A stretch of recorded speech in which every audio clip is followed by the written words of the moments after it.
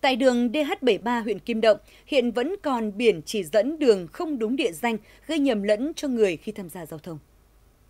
Thị xã Hưng Yên đã lên thành phố hơn 10 năm nay, hầu hết các biển chỉ dẫn địa danh đã được thay thế. Tuy vậy, tại đường DH73, qua địa phận xã Toàn Thắng, huyện Kim Động, hiện vẫn còn tồn tại một biển chỉ dẫn địa lý, trên đó ghi thị xã Hưng Yên 15 km.